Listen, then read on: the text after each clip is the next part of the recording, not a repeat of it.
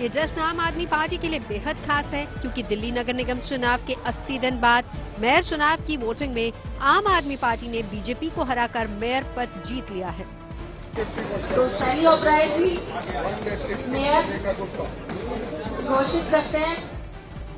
इस वोटिंग में आम आदमी पार्टी की प्रत्याशी शैली ओबरॉय को 150 वोट मिले जबकि बीजेपी उम्मीदवार रेखा गुप्ता को 116 वोट मिले। इस तरह से शैली ओबरॉय ने बीजेपी प्रत्याशी को 34 वोटों से हराकर मेयर का चुनाव जीत लिया। आम आदमी पार्टी ने मेयर ही नहीं, डेप्यूटी मेयर का चुनाव भी आसानी से जीत लिया। उसके उम्मीदवार आले मोहम्मद खान ने बीजेपी के कमल बागड़ी को हराया। मुंबई में रामायण के प्रसंगों को एक कलाकार ने खास तरीके से पेश किया है। इंदौर में रहने वाले आर्टिस्ट ईश्वरी रावल रामायण के महत्वपूर्ण प्रसंगों को रंगों के ज़रिए कैनवास पर उतारा है। रामायण पर इनके इस खास पेंटिंग्स की तो प्रदर्शनी जहांगीर आर्ट गैलरी में लगाई गई है। इस एग्जीबिशन में रामायण के अलग अलग प्रसंगों की 12 पेंटिंग्स लगाई गई है। प्रदर्शनी में हनुमान जी के लंका जाने से लेकर राम जी के वनवास जाने और राम जी के बारात तक का वर्णन आकर्षक रंगों के माध्यम से पेश किया गया है। दरअसल हम सब अपने अपने अधूरेपन में जीते हैं। अगर हम पूरे होते हैं तो अपने से बाहर पूरे होते हैं। जो पूर्ण हो जाएगा, उस पर विराम लग जाएगा। इसलिए अपूर्णता, रचनात्मकता की शुरुआत की, निरंतरता की शुरुआत, रचनात्मकता की, निरंतरता की शुरुआत की पहली शर्त है। इस प्रदर्शनी की सबसे खास बात यह है कि इन सभी तस्वीरों को ईश्वरी ने बेहद बारीकी से बनाया है और इन्हें बनाने में उन्हें तकरीबन चार साल का समय लगा है। ईश्वरी की इस प्रस्तुति को कला जगत में सराहना मिल रही है। प्रभु श्री राम की नगरी अयोध्या में एक तरफ़ जहाँ भव्य राम मंदिर आकार ले रहा है तो वहीं दूसरी तरफ़ श्रद्धालुओं को जल्द ही क्रूज की भी सुविधा मिलने वाली है। अयोध्या में डबल डेगर क्रूज के निर्माण का काम भी शुरू हो चुका है। ऐसे में श्रद्धालुओं के लिए ये बड़ा तोहफा है, जहाँ भक्त अपने आराध्य के दर्शन के साथ साथ गुप्तार घाट से लेकर नया घाट तक क्रूज से सरयू विहार का आनंद ले सकेंगे। इसके साथ ही क्रूज में रामायण से जुड़े चलचित्र के साथ भजन भी सुनने का श्रद्धालुओं को मौका मिलेगा। सौर ऊर्जा संचालित क्रूज होगा और यही है कि सोलर एनर्जी ग्रीन एनर्जी से हम लोग जो कंपनी है वो चलाएगी क्रूज। और उसको हम लोगों ने दीपोत्सव से पहले का टारगेट रखा है कि दीपोत्सव से पहले ये स्टार्ट हो जाए। बता दें कि ये डबल डेकर क्रूज पूरी तरह से सोलर पैनल से संचालित होगा। क्रूज में एक बार में करीब 100 लोगों के बैठने का भी इंतज़ाम होगा।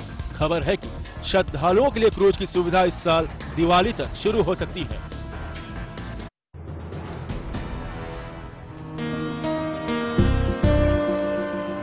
बनारस में इन दिनों सौंदर्यीकरण का काम जोरों पर है। हो भी क्यों ना? क्योंकि यहाँ विश्व की सबसे मज़बूत इकोनॉमी वाले 20 देशों के डेलीगेट्स जो आने वाले हैं, और ये तैयारियाँ उन्हीं के स्वागत में की जा रही हैं। अप्रैल से अगस्त तक जी ट्वेंटी की पाँच बैठकें वाराणसी में होनी मेहमानों के ठहरने का इंतज़ाम बनारस के कैंटोनमेंट एरिया के होटल्स में किया जाना है। लिहाजा यहाँ के इलाकों को खासतौर पर चमकाने का काम किया जा रहा है। बनारस में भी जी ट्वेंटी का सम्मेलन हो रहा है। उसके लिए ये पूरे बनारस में आपका अंतरानंद स्कूल से लेकर के आपका पूरे सिगरा तक चित्रकारी होनी है। चित्रकारी और पूरी बिल्डिंग की फसाड पेंटिंग होनी है। बनारस के सौंदर्यीकरण के लिए यहाँ की कुल 40 सड़कों को चिन्हित किया गया है। इन सड़कों की मरम्मत इंटरलॉकिंग और चौड़ीकरण का काम तेज़ी से किया जा रहा है। और इस तरह जी ट्वेंटी मेहमानों के लिए सज रही है, सवर रही है काशी।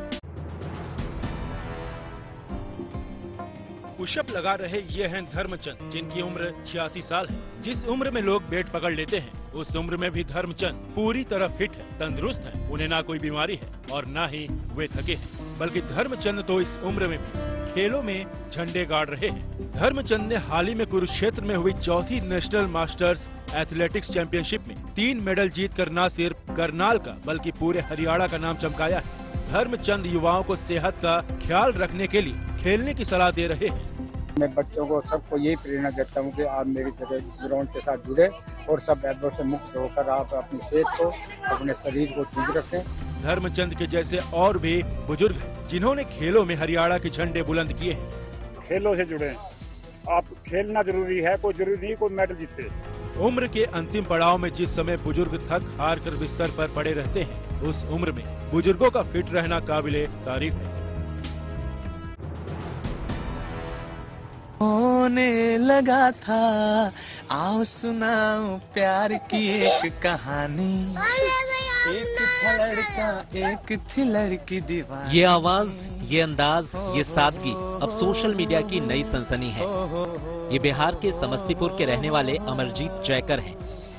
बड़े बड़े सितारे अमरजीत की इस आवाज़ के मुरीद हो गए हैं। अमरजीत के चाहने वालों की फहरिस्त लंबी है, तफसील से बताएँगे। पहले अमरजीत की सुरीली आवाज़ सुनी इस वायरल वीडियो में अमरजीत खेत में गाना गाते दिख रहे हैं। उनके हाथ में एक टूथब्रश है, आसपास कुछ बच्चे भी खेलते नज़र आ रहे हैं। जैसे ही ये वीडियो सोशल मीडिया पर आया बड़े बड़े सितारों ने अमरजीत की दिल खोलकर तारीफ़ की।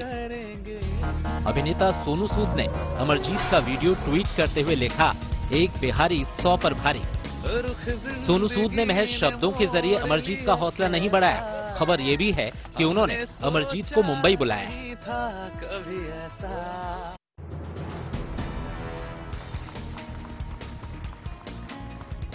अपने शौर्य और अदम्य साहस के दम पर देश के लिए मर मिटने वाले वीर जवानों के सम्मान में असम के जोरहाट में अलंकरण समारोह का आयोजन किया गया। भारतीय सेना ने पूरे देश खासकर उत्तर पूर्व क्षेत्र में शांति बनाए रखने में उल्लेखनीय और अहम योगदान देने वाले वीरों का सम्मान किया। इस कार्यक्रम में थल सेना की पूर्वी कमान के general commanding in chief, lieutenant general Rana Pratap Kalita ने अधिकारियों और जवानों को वीरता और विशिष्ट पुरस्कार से नवाजा। इस साल 12 अधिकारी, एक जूनियर कमीशन अधिकारी और 12 दूसरे रैंक के अधिकारियों को एक युद्ध सेवा पदक 18 वीरता और एक विशिष्ट सेवा पदक से सम्मानित किया गया है। इस दौरान जोरहाट स्टेडियम में ही अपनी सेना को जाने नाम से एक प्रदर्शनी का आयोजन किया गया, जिसमें कई तरह के स्वदेशी हथियारों का प्रदर्शन किया गया। इस प्रदर्शनी का मकसद जोरहाट के युवाओं और स्कूली बच्चों को सशस्त्र बलों के प्रति उत्साहित करना था, ताकि वो आगे चलकर सेना को ज्वाइन करें।